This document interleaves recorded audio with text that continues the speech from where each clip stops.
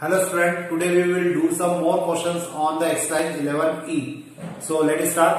Last uh, exercise में मैंने शायद या लास्ट हमारा जो वीडियो लेक्चर हुआ था उसमें मैंने कहा था कि हम लोग कुछ इसी टाइप के क्वेश्चंस करेंगे और कुछ दो या तीन फॉर्मूले बाकी है जिन्हें हमें पढ़ना थे और उसके ऊपर आज हमें क्वेश्चंस भी करना है तो देखिए वो तीन फॉर्मूले मैंने लिखे हैं क्योंकि लास्ट टाइम इसी टाइप के हमने फॉर्मूले लिखे थे लेकिन वो सारे फॉर्मूले डीएक्स के अपॉन में थे और यहाँ पे ये सारे फॉर्मूले डीएक्स के साथ मल्टीप्लाई में है।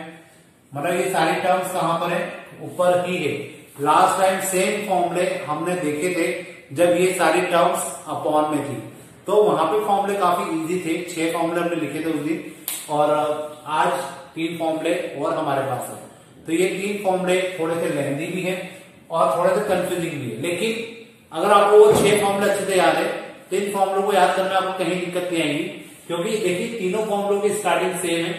यहाँ पे a square minus x square है यहाँ पे भी वही है। आगे एक्स है, यहाँ पे a square plus x square है यहाँ पे भी सेम टर्म है। यहाँ पे अगर x square minus a square है तो यहाँ पे भी वही टर्म है, आगे वन बाय टू है। तो मतलब स्टार्टिंग तीनों की सेम है। यहाँ पे दोनों में प्लस आता है। और x square minus a square में यहाँ पे माइनस का ए स्क्वायर आता है। ये आपको ध्यान रखना है। इन दो फॉर्मूले के आपको पुराने वाले फॉर्मेट याद होंगे डीएक्स अपॉन में जब ये फॉर्मूले थे तो लॉग की टर्म में आंसर होता था। देखिए, वही लॉग की टर्म में सेम वही आंसर है। और अगर a square minus x square है तो वहाँ पे आंसर होता था sine inverse x by a तो ऑलमोस्ट फॉर्मूले वही है, लेकिन बस अब थोड़ा सा इनका स्ट्रक्चर बदल गया है। थोड़ा सा ये फॉर्मूले लंबे भी हो गए हैं और थोड़े से टिपिकल भी हो गए लेकिन है काफ़ी इजी आप लोग जब इनको प्रॉपरली पढ़ेंगे बार बार लिखेंगे तो ये फॉर्मूले बहुत अच्छे से आपको याद रहेंगे। अब जैसे अपन आज क्वेश्चन करते हैं, इसी फॉर्मूले के ऊपर जैसे फ़र्स्ट क्वेश्चन है तो फ़र्स्ट क्वेश्चन को देख के आपको क्या लग रहा है कि वो इसमें, इस पे अप्लाई होना चाहिए? या मैं यूँ कहूँ कि इस इस क्वेश्चन के ऊपर ये फॉर्मूला अप्लाई होना चाहिए, ये होना चाहिए, ये होना चाहिए? तो आप लोग देख के इजीली बता सकते हैं कि एक्स स्क्वायर पीछे है मतलब ये वाला फॉर्मूला लगना चाहिए। तो अपन इसी फॉर्मूले को इसके ऊपर अप्लाई करेंगे। अब ये वाला क्वेश्चन है तो इस क्वेश्चन में हम लोग पहले फोर को कॉमन निकालेंगे। जैसा कि मैंने लास्ट लेक्चर में भी कहा था कि एक्स के साथ कोई भी ऑप्शन नहीं होना चाहिए। तो यहाँ से हम लोग फोर को कॉमन निकाल लेंगे। तो इसमें कौन सा फॉर्मूला लगना चाहिए?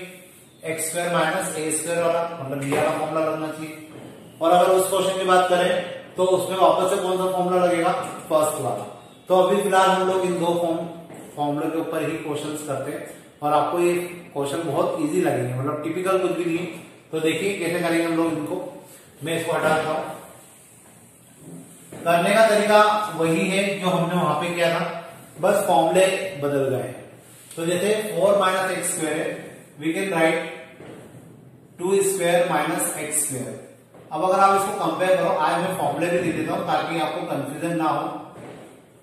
इसका फॉर्मूला होता है one by two x under of a square minus x square plus a square sine inverse x by a ये इसका फॉर्मूला होता है।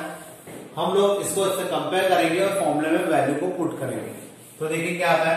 वन अपॉइंट टू एक्स की जगह एक्स ही आ जाएगा अंडर ऑफ़ ए की जगह टू आ जाएगा और टू का स्क्वायर हो जाएगा तो four four minus x square plus a square मतलब टू का square means that is four sine inverse x by two ये मेरा आंसर हो जाएगा। बस ये आपको फॉर्मूले में वैल्यू को पुट करना था और आंसर निकालना था।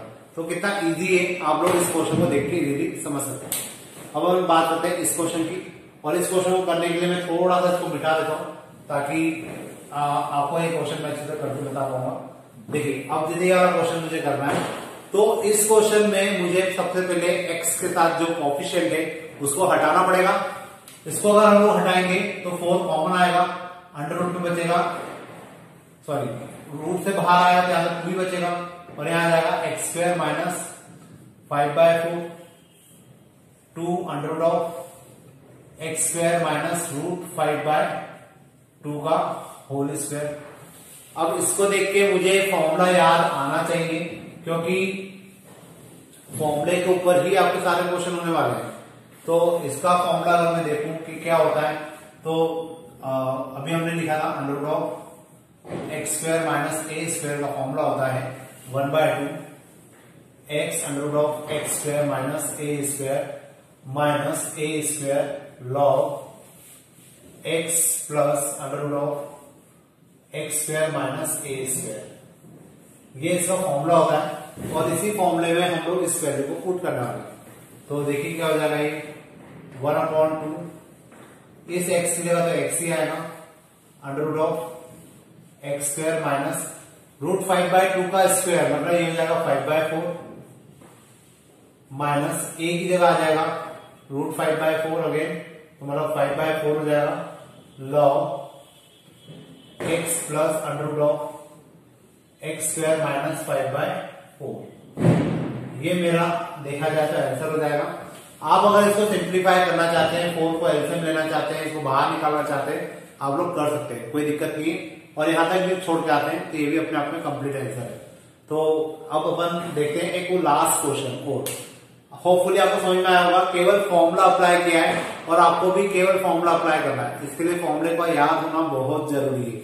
और ये क्वेश्चन है काफ़ी छोटे से सिंपल से, लेकिन फॉर्मूले याद ना होने के कारण स्टूडेंट ये गलत करके आते हैं।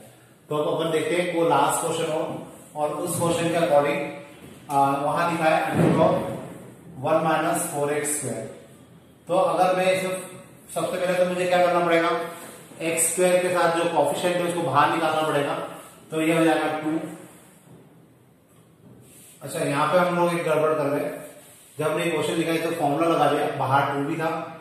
तो टू यहाँ आ जाएगा टू से टू कैंसर तो अब ये मेरा आंसर हो जाएगा। इस बात का ध्यान रखेगा कि जो कांस्टेंट आप लोग निकाल रहे हैं, उसको भी यूज़ करना है, उसको नहीं छोड़ना है। यहाँ पे अपन ने टू बाहर निकाला तो ये जाएगा one upon four minus x square to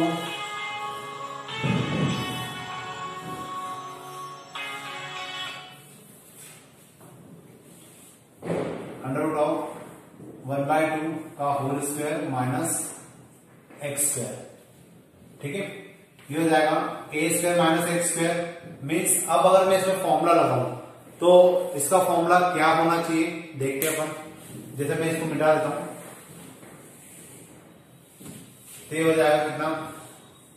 Under root of x square minus sorry a square minus x square equal to one by two x under root of a square minus x square plus a square sine inverse x by a ये मेरा answer हो जाएगा मतलब formula हो जाएगा, और इसी को हम लोग इसमें पुट कर देंगे। तो ये टू तो एज आएगा वन बाय टू और यहाँ पे क्या आ जाएगा x under root of a square की जगह क्या आ जाएगा one by four minus x square plus a square की जगह आ जाएगा one by four sine inverse x की जगह फिर से क्या आ जाएगा एक्स ही आ जाएगा, और ए की जगह आ जाएगा कितना वन बाय टू तो ये वन बाय टू जो है, इसको अपन ऊपर ले जा सकते हैं। टू से two cancel x under of one by four minus x square plus one by four sine verse two x ये मेरा क्या हो जाएगा? आंसर हो जाएगा। तो इस प्रकार से मैं क्या कर सकता हूँ? क्वेश्चन को सॉल्व कर सकता हूँ। अब अपन देखते हैं कुछ और क्वेश्चंस देखिए, अब मेरे पास है ये तीन क्वेश्चंस मुझे इनको सॉल्व करना है। आ, इन तीनों में फॉर्मूले वही लगेंगे जो हमने लास्ट वीडियो लेक्चर्स में पढ़े थे। तो जैसे ये वाला क्वेश्चन है। मुझे अगर इसको सॉल्व करना है तो एक्स स्क्र के साथ कोई भी कॉफिशेट नहीं होना चाहिए। तो सबसे पहले तो हम लोग 25 को बाहर निकालते हैं। बाहर आ जाएगा तो ये फाइव मिल जाएगा। Nine upon twenty five minus x square one upon five under of three by five का whole square minus x square फिर अब ये किसका फॉर्मूला बन रहा है? ये आपको जज करना बहुत ज़रूरी है। उसी के कारण आप लोग आंसर लिख पाएँगे। तो वन अपॉन फाइव का एज हो जाएगा। इसको मैं ऐसा लिखता हूँ वन अपॉन फाइव इंटू ये होता है sine inverse x by a मतलब थ्री बाय फाइव तो one by five sine inverse five x by three ये मेरा आंसर हो जाएगा प्लस सी भी लिख सकता हूँ। तो इस प्रकार से मेरा क्वेश्चन हो जाएगा। इसकी बात करें तो देखिए फॉर्मूले तो अपनी जगह है फॉर्मूले तो आपको लगाना ही है। लेकिन जो बेसिक मेथड्स है इंटीग्रेशन की जो हमने स्टार्टिंग में पढ़ी थी, उन मेथड्स को भी आपको फॉलो करना है। तो जैसे यहाँ पर है, ऊपर सेक स्क्वायर एक्स भी है। मुझे यहाँ पर कुछ ऐसा करना है कि सेक स्क्वायर एक्स कैंसिल भी हो जाए, क्योंकि हमने जो फॉर्मूले पढ़े हैं उसमें ऊपर केवल डीएक्स होता है और नीचे पूरा a square plus x square या a square minus x square something कुछ होता है और फिर उसमें फॉर्मूला लगता है। लेकिन यहाँ पर ऊपर सेक स्क्वायर एक्स भी डी वन है। तो मुझे उसको पहले हटाना पड़ेगा। और अगर उसको हटाना है तो मुझे टेन एक्स को टी पुट करना चाहिए। तो मैं यहाँ पर क्या करूँगा? टेन एक्स को रख देता हूँ टी ये हो जाएगा sec square x d x equal to d t d t upon t square plus two का स्क्वायर अब याद करिए, ये किसका फॉर्मूला बन सकता है या होता है? तो under of x square plus a square ये फॉर्मूला होता है लॉग का। तो हम लोग यहाँ पे लॉग करके लिख सकते हैं log t plus under of t square plus four और फाइनली मुझे क्या करना है? टी की वैल्यू को पुट करना पड़ेगा। तो ये हो जाएगा लॉग टी की जगह आ जाएगा tan x plus under of tan square x plus four तो इस प्रकार से क्या आ जाएगा मेरा ये आंसर हो जाएगा। एक वो क्वेश्चन है, उसको भी हम लोग करते हैं। तो यहाँ पर आप लोग देख सकते हैं कि नीचे कॉस एक्स है, ऊपर साइन एक्स है।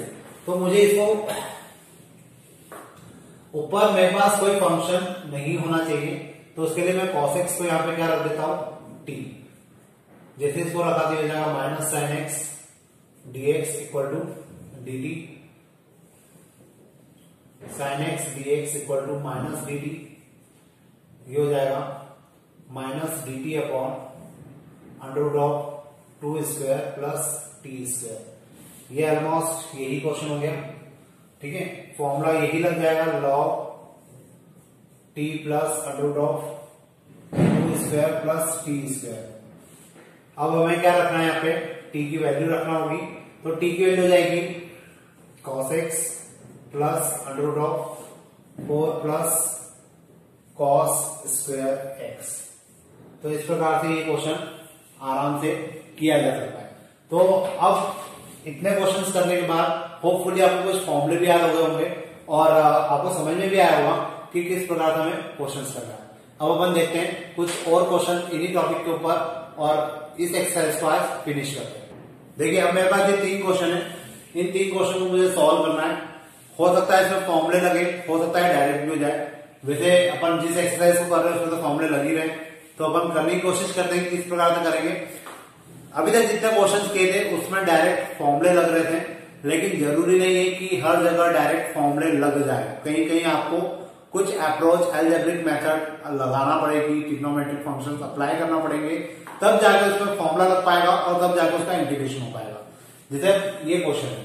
मुझे अगर इसको सॉल्व करना है तो मुझे सबसे पहले टू ई की पावर एक्स ऊपर जो फ़ंक्शन गिवन है, मुझे उसको क्या करना पड़ेगा? हटाना पड़ेगा। तब जाकर उसमें फॉर्मुला लग पाएगा। तो मैं एक काम करता हूँ। यहाँ पर ई की पावर एक्स को मान लेता हूँ टी तो ई की पावर एक्स डी एक्स हो जाएगा कितना? टी अब यहाँ से ई की पावर एक्स टू को तो कांस्टेंट बना के बाहर निकाल लेते हैं।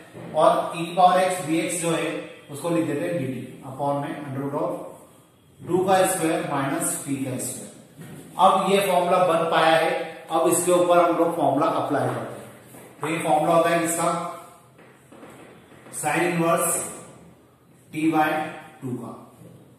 टू साइन इनवर्स टी की जगह आ जाएगा यहाँ पे into the power x upon two plus c तो इस प्रकार से मेरा क्वेश्चन कंप्लीट हो जाएगा। अब यह वाला जो क्वेश्चन है, थोड़ा सा इंपॉर्टेंट भी है, और इस टाइप के और भी क्वेश्चन है वो भी पूछे जाते हैं। अब जैसे फ़िलहाल ये क्वेश्चन है, मुझे अगर इसको सॉल्व करना है तो मुझे क्या करना चाहिए? मैं इसको रेशनलाइज कर लेता हूँ, क्योंकि रेशनलाइज करने से क्वेश्चन थोड़ा सा इजी हो जाएगा। वन माइनस एक्स अपॉन में वन प्लस एक्स जैसे मैंने इसको रेशनलाइज किया, ऊपर हो जाएगा root of one minus x का स्क्वायर अपॉन में यहाँ माइनस आएगा। तो वन माइनस एक्स स्क्वायर अब इसको मैं क्या करूँगा? इसके स्क्वायर से रूट कैंसल ये हो जाएगा वन माइनस एक्स अपॉन में root of one minus x square अब मुझे इसको इंटीग्रेट करना है और इसको इंटीग्रेट करने के लिए ऊपर जो फ़ंक्शन है, उसको मुझे हटाना पड़ेगा। उसको हटाने के लिए हम लोग क्या कर सकते हैं? इसको सेपरेट कर देते हैं। तो ये हो जाएगा one upon under of one minus x square minus x upon under of one minus x ये तो डायरेक्ट फॉर्मूला होता है किसका फॉर्मूला होता है साइन इनवर्स एक्स का। तो मैंने इसको लिख दिया साइन इनवर्स एक्स माइनस लेकिन इसको सॉल्व करने के लिए हमें क्या करना पड़ेगा? वैल्यू को टी पुट करना पड़ेगा। तब जाके ये क्वेश्चन कंप्लीट हो पाएगा। तो इसको करने के लिए मैं इधर कर देता हूँ इसको। तो देखिए क्या होगा यहाँ पे? आ, इसको मैं वन माइनस एक्स स्क्वायर को रखता हूँ टी। इसको टी रखा तो ये हो जाएगा minus two x d x equal to d t अब यहाँ पे केवल एक्स है और डी एक्स है तो मुझे तो यहाँ पे एक्स और डी की ज़रूरत है। D t by minus two as रख देते हैं। तो ये हो जाएगा साइन इनवर्स एक्स माइनस, ये वाला माइनस और ये माइनस मिलकर प्लस हो जाएगा d t upon two. Upon में, और इसकी जगह तो हमने क्या रखा है? अंडर ऑफ़ टी ठीक है? ये हो जाएगा साइन इनवर्स एक्स और यहाँ पर आ जाएगा one by two integration of t की power minus one by two sine inverse x plus one by two t की power minus one by two plus one upon में minus one by two plus one sine inverse x plus one by two, t to the power one by two upon में one by two. ये value इससे cancel हो जाएगी। Finally आपका answer हो जाएगा sine inverse x plus t की जगह हम लोग टी की वैल्यू रख देते हैं। वन माइनस एक्स स्क्वायर और ये भी रूट में आ जाएगा क्योंकि पावर में वन बाय टू है। तो ये मेरा आंसर हो जाएगा। तो इस प्रकार से मैं क्या कर सकता हूँ? इस प्रकार से आंसर निकाले जाते हैं। अब बात करते हैं उसकी और इस क्वेश्चन को करने के लिए आपको मैंने कुछ बताया था कंसेप्ट आपको याद होना चाहिए। और वो कंसेप्ट क्या था कि अगर ऊपर वाले फ़ंक्शन की डिग्री ज़्यादा है और नीचे वाले फ़ंक्शन की डिग्री कम है तो आपको हमेशा इस फ़ंक्शन को क्या करना पड़ेगा? डिवाइड करना पड़ेगा या ऊपर वाले फ़ंक्शन को फैक्टराइज करना पड़ेगा। मैं डिवाइड कर देता हूँ, ज़्यादा इजी हो जाएगा। X cube plus x plus one मैंने इसको डिवाइड किया एक्स स्क्वायर माइनस वन से। तो कितनी बार जाएगा ये x times x cube minus x minus plus ये हो गया कैंसल ये हो जाएगा टू एक्स प्लस वन अब ध्यान से देखिए कि इसको किस प्रकार से लिखा जाता है। जो आपका क्वेश्चन है, उसको लिखिए आगे प्लस जो आपका रिमाइंडर है, उसको लिखिए ऊपर टू एक्स प्लस वन और जो आपका रिमाइंडर है, उसको लिखिए एक्स स्क्वायर माइनस वन ठीक है? अब इस क्वेश्चन को मुझे इंटीग्रेट करना है। अगर आप लोग इसको डायरेक्ट इंटीग्रेट करने का सोचते हैं तो वो पॉसिबल नहीं होगा। ये आपको चीज़ अच्छे से समझ में आना चाहिए। अब मुझे इसको इंटीग्रेट करना है। मैं इधर का थोड़ा सा ये मिटा देता हूँ, ताकि मैं आपको इंटीग्रेट करके बता पाऊँगा क्यों कैसे हो पा रहा है। तो देखिए एक्स का इंटीग्रेशन हो जाएगा। X square by two plus इसका इंटीग्रेशन फिर से नहीं हो पाएगा। तो हम लोग इसको एक काम करते हैं। दो अलग अलग फैक्टर्स में या अलग अलग टर्म्स को ब्रेक कर लेते हैं। Plus one upon x square minus one ये तो हो चुका है एक्स स्क्वायर बाय टू लेकिन अब इसको अगर मुझे इंटीग्रेट करना है तो मुझे यहाँ पे एक्स स्क्वायर माइनस वन को रखना होगा t two x dx equal to d t यहाँ बाय डिफ़ॉल्ट डी एक्स है, यहाँ पे भी डीएक्स है। तो टू एक्स डी की जगह कितना आ जाएगा? डी टी यहाँ आ जाएगा डी टी अपॉन में टी प्लस ये तो फॉर्मूला हो जाएगा one upon two a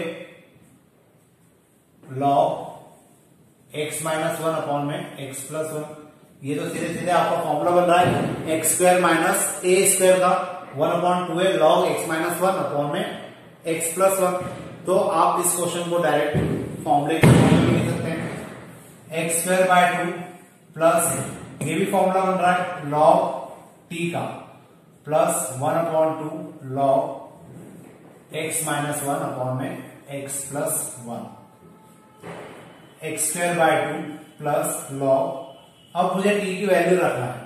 तो टी की वैल्यू हम लोग यहाँ से रखेंगे। तो ये कितना हो जाएगा?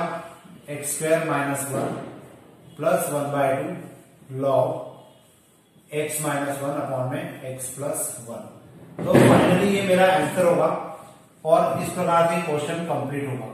यहाँ पे देखा जाए तो आपकी एक्सरसाइज भी खत्म हो रही है। तो जो फॉर्मूले मैंने लास्ट लेक्चर्स में और इसी लेक्चर्स में आपको बताए हैं, इनको बहुत अच्छे से याद करिए, क्योंकि जैसा मैंने आपको पहले भी कहा था, मैं वापस से रिपीट कर रहा हूँ, ये सारे फॉर्मूले आपको मैथ्स द कॉलम में फाइव मार्क्स के क्वेश्चन में पूछे जाते हैं ऑब्जेक्टिव में पूछे जाते हैं और इन फॉर्मूले के बेसिस पर क्वेश्चन भी होते हैं। तो अगर ये फॉर्मूला आपको बहुत अच्छे से याद है तो डेफिनेटली आपको इस पर नंबर अच्छे से मिल जाएँगे। और क्वेश्चन आपने देखे हैं, काफ़ी इजी है। और फ़िलहाल इस क्वेश्चन की बात करें तो मैं इस क्वेश्चन में एक बार आपको वापस से रिमाइंड कर दूँ कि अगर डिग्री ऊपर की ज़्यादा है तो आपको नीचे वाले फ़ंक्शन से क्या करना पड़ेगा? ऊपर वाले फ़ंक्शन को डिवाइड करना पड़ेगा और तब जाके आप इसको इंटीग्रेट कर पाएँगे। तो जब आप ऊपर वाले फ़ंक्शन को नीचे वाले फ़ंक्शन से डिवाइड करते हैं तो मैंने डिवाइड किया। तो यहाँ लिखने का तरीका भी एक बार देख लीजिए। कि जो क्वेश्चन होता है वो सबसे आगे आता है, ये क्वेश्चन था, इसको मैंने आगे लिखा प्लस जो रिमाइंडर होता है उसको ऊपर लिखा जाता है, और जो डिवाइजर होता है, उसको नीचे लिखा जाता है। एक्स का इंटीग्रेशन तो हो जाएगा एक्स स्क्र बाय टू और इसको मैं डायरेक्ट इंटीग्रेट नहीं कर पा रहा हूँ, इसलिए मैंने इसको अलग अलग टर्म में लिख लिया।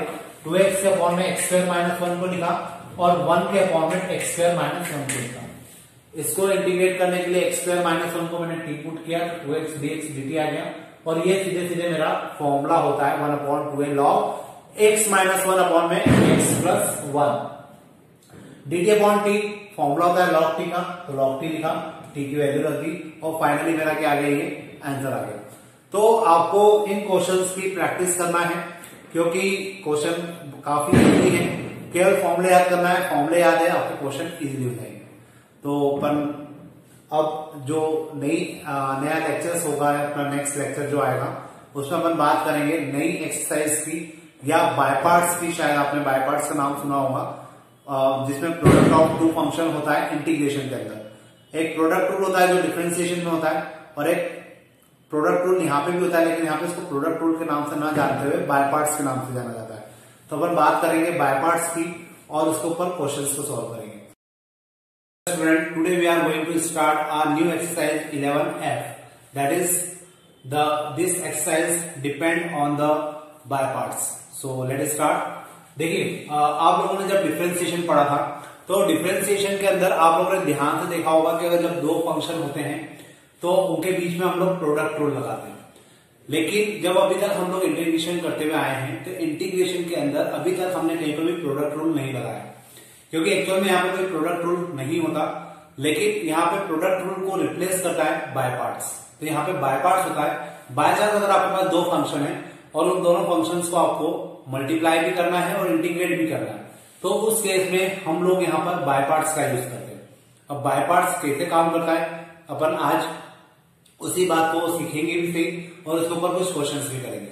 देखिए, मेरे पास एक क्वेश्चन है एक्स कॉस एक्स तो एक्स कॉस एक्स को मुझे बायपार्ट से सॉल्व करना पड़ेगा, क्योंकि आपको जितनी भी मेथड बताई गई है, सिखाई गई है, आप उसमें से कोई भी मेथड इसके ऊपर लगा लीजिए, ये क्वेश्चन सॉल्व डायरेक्टली नहीं हो पाएगा। मुझे इसको सॉल्व करने के लिए ऑब्वियस है कि यहाँ पर बायपार्ट का यूज़ करना पड़ेगा, क्योंकि यहाँ पे दो फ़ंक्शन है, एक है एक्स और एक है कॉस एक्स तो अगर मुझे इसको डिफ्रेंशिएट सॉरी इंटीग्रेट करना है तो उस कंडीशन में मुझे इस पर बायपार्ट्स लगाना होगा। बायपार्ट्स लगाने के लिए आपको सबसे पहले मैं फॉर्मूला लिख के बताता हूँ और उसको किस प्रकार से अप्लाई किया जाता है, फिर अपन उसकी बात करेंगे। मान लीजिए आपके पास दो फ़ंक्शन है एफ़ ऑफ़ एक्स और जी ऑफ़ एक्स मुझे इसको इंटीग्रेट करना है। अब एक रूल होता है आईलेट इस आईलेट के रूल के बेसिस पर हम लोग डिसाइड करते हैं कि इन दोनों में से कौन सा फ़ंक्शन फ़र्स्ट फ़ंक्शन होगा और कौन सा फ़ंक्शन सेकंड फ़ंक्शन होगा। तो मान लेते हैं फ़िलहाल कैसे डिसाइड करेंगे वो हम लोग अभी क्वेश्चन के साथ मैं आपको उसको भी एक्सप्लेन कर दूँगा। अभी इसके बेसिस पर हमने डिसाइड कर लिया कि ये फ़र्स्ट फ़ंक्शन है और ये सेकंड फ़ंक्शन है। तो इस कंडीशन में क्या होगा? फ़र्स्ट फ़ंक्शन को रखिए एज इट इज़ इंटीग्रेशन कीजिए सेकंड फ़ंक्शन का। मतलब अगर मैं इसको एफ़ ऑफ़ एक्स लिखूं तो कोई दिक्कत नहीं होना चाहिए। और जी ऑफ़ एक्स का यहाँ पे क्या हो जाएगा? इंटीग्रेशन साथ में आएगा डीएक्स माइनस अब डी बाई डी एक्स करेंगे हम लोग किसका? फ़र्स्ट फ़ंक्शन का अगेन मतलब एफ़ ऑफ़ एक्स और इसी के साथ प्रोडक्ट होगा integration of g of x dx मतलब आपको पहले इसका डिफ्रेंसिएशन निकालना है, इसका इंटीग्रेशन निकालना है, दोनों का प्रोडक्ट करना है, और प्रोडक्ट करने के बाद फाइनली फिर से आपको क्या करना है इंटीग्रेशन करना है। तो ये बेसिक फॉर्मूला हो गया बाय पार्ट्स का। और इसी फॉर्मूले को हम लोग जब भी दो फ़ंक्शन प्रोडक्ट के फॉर्म में होंगे और उनका इंटीग्रेशन करना होगा तो हम इसी तरीके का यूज़ करेंगे। तो यहाँ पे आपको समझ में आया होगा कि first function as it is लिखना है सेकंड फ़ंक्शन का इंटीग्रेशन करना है माइनस फिर इंटीग्रेशन ऑफ़ इंटीग्रेशन किसका करना है? फ़र्स्ट फ़ंक्शन का डिफ्रेंसिएशन और सेकंड फ़ंक्शन का जो इंटीग्रेशन आएगा, उसके प्रोडक्ट का आपको यहाँ पे क्या करना है? इंटीग्रेशन करना है। और फाइनली ये जो होगा, ये आपको, आपका आंसर देगा। अब यहाँ पे बात आती है कि हम फ़र्स्ट फ़ंक्शन और सेकंड फ़ंक्शन कैसे डिसाइड करेंगे। तो देखिए आईलेट का फुल फॉर्म होता है, इसका मतलब होता है इनवर्स इसका मतलब होता है logarithmic then a means algebraic t means trigonometric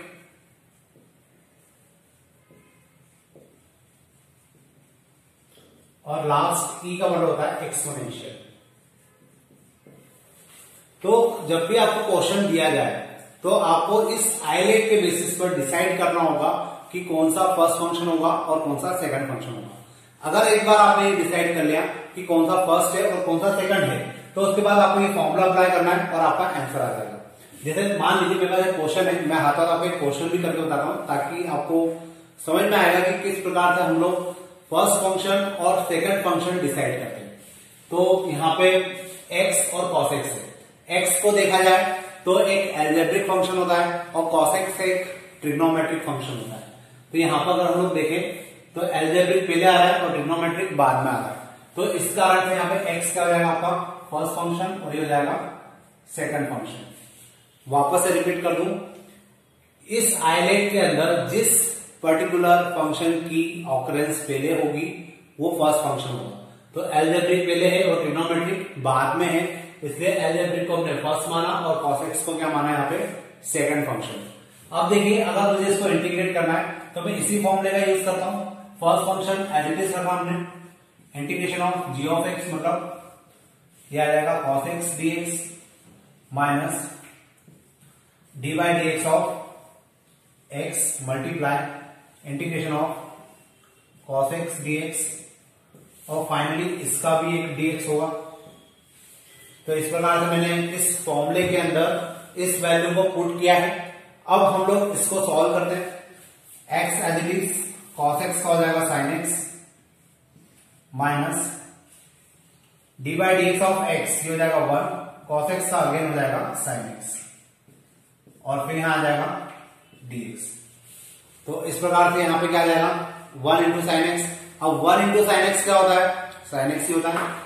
तो we can write x sine x minus one into sine x हो जाएगा साइन एक्स और साइन एक्स का इंटीग्रेशन होता है cos x minus cos x होता है तो ये हमें प्लस का साइन आ जाएगा और ये हो जाएगा कॉस एक्स प्लस सी ये मेरा आंसर हो जाएगा।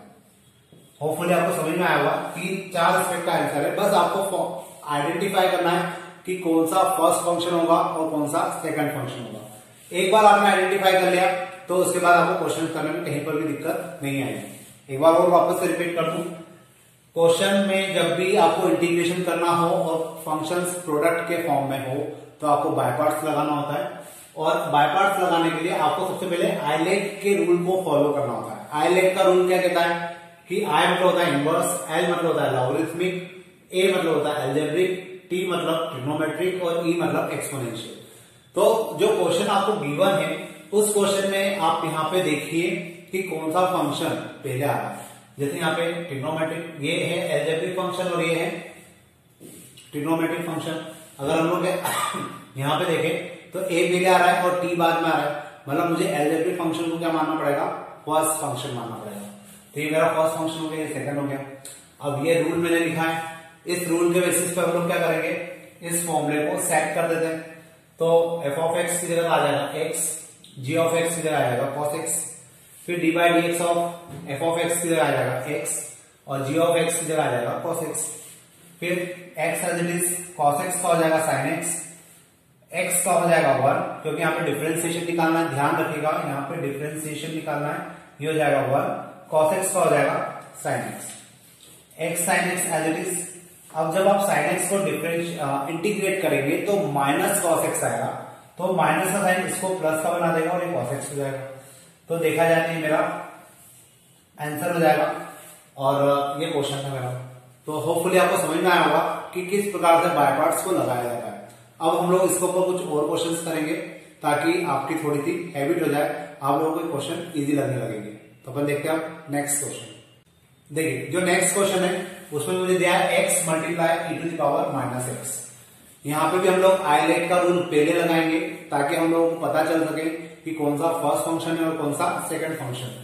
तो ये एलजेब्रिक फ़ंक्शन होता है और ये एक्सपोनेंशियल होता है।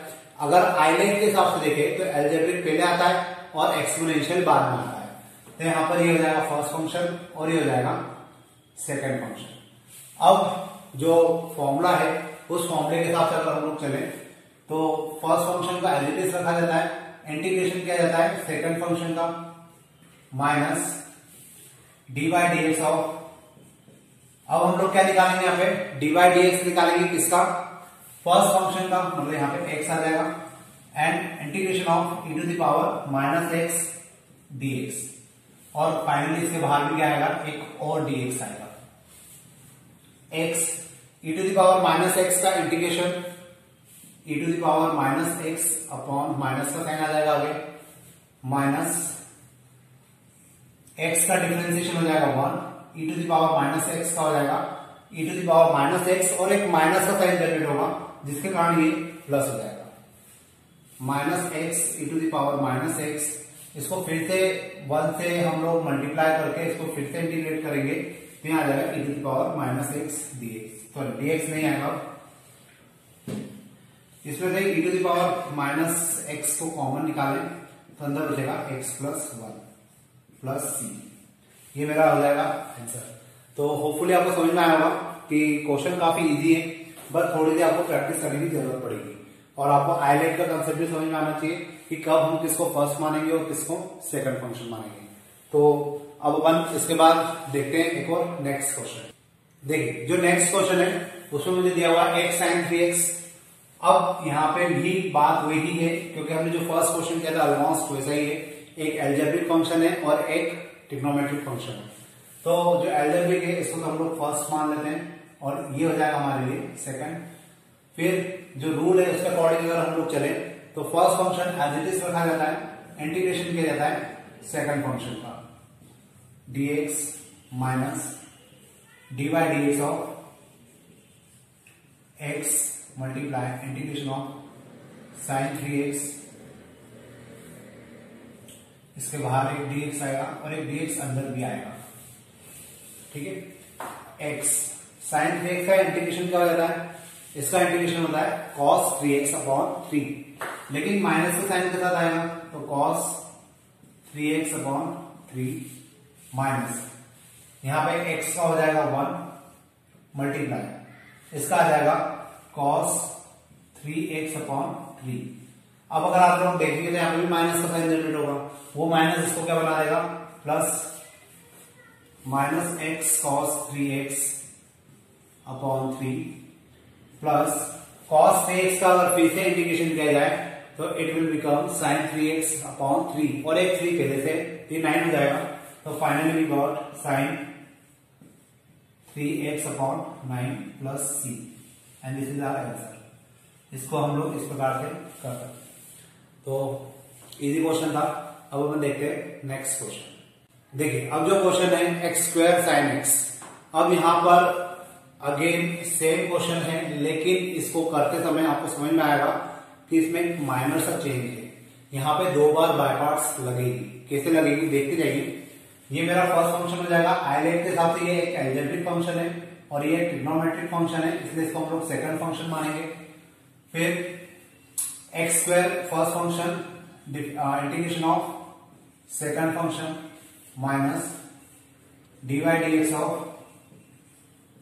x square यहाँ पर आ जाएगा साइन एक्स डीएक्स और बाहर भी आ जाएगा कितना डीएक्स तो इस प्रकार से मैं क्या कर सकता हूँ, क्वेश्चन को लिख सकता हूँ। अब इसके बाद x square as it is sine x का हो जाएगा कॉस एक्स और माइनस का साइन क्योंकि साइन एक्स का इंटीग्रेशन क्या होता है? माइनस कॉस एक्स होता है।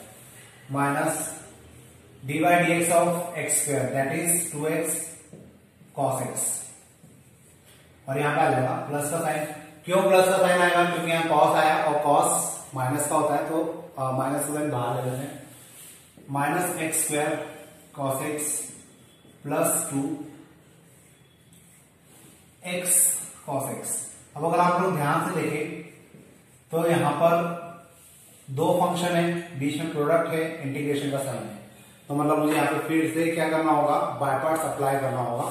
तो बाय पार्ट्स अगर अप्लाई करेंगे तो ये फ़र्स्ट फ़ंक्शन हो जाएगा और ये सेकंड फ़ंक्शन हो जाएगा। तो minus x square cos x plus two first function as it is integration of second function dx minus dy dx of x integration of cos x dx. और बाहर एक और dx. मैंने यहाँ पे क्या किया? फिर से बाय पार्ट्स लगा दिया है, क्योंकि यहाँ पे फिर से हमें बाय पार्ट्स लगाने की ज़रूरत पड़ रही है।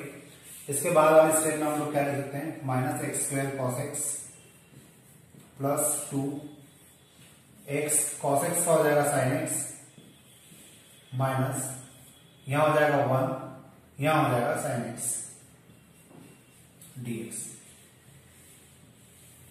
तो ऑलमोस्ट मेरा ये तो कंप्लीट है। अब इसके बाद मैं क्या कर सकता हूँ?